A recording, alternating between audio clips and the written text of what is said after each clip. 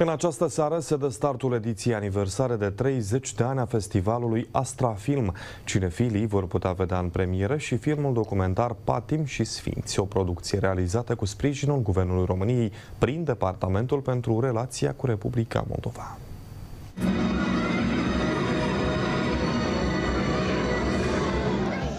Ediția Astrafilm Chișinău 2023 va fi deschisă cu filmul Calea Laptelui, un film realizat de Dumitru Budrala. Eu vin cu emoție întotdeauna și aștept cu bucurie să participe la prezentarea filmelor, pentru că sunt filme inspiratoare, filme cu un potențial educativ extraordinar. Avem și filme dedicate tinerilor, filme uh, pentru uh, elevi, pentru studenți, uh, filme care au fost uh, de un mare, mare succes la Astrafin Junior în cadrul Festivalului Internațional de la Sibiu. Timp de trei zile, publicul din Chișinău va avea ocazia să vadă o selecție de filme, inclusiv documentare realizate cu sprijinul Guvernului României prin Departamentul pentru Relația cu Republica Moldova.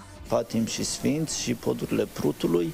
Sunt două filme despre uh, Republica Moldova, despre relația României cu Republica Moldova. Două filme pe care cred că publicul le va aprecia foarte mult. Are ne dorim foarte mult să continuăm acest proiect pentru că vedem în primul rând că este o cerere în uh, rândul publicului amator de filme. Printre filmele care urmează a fi rulate la Chișinău se numără Amar, locul unde nimeni nu zice te iubesc sau Dulcele sărut al pământului.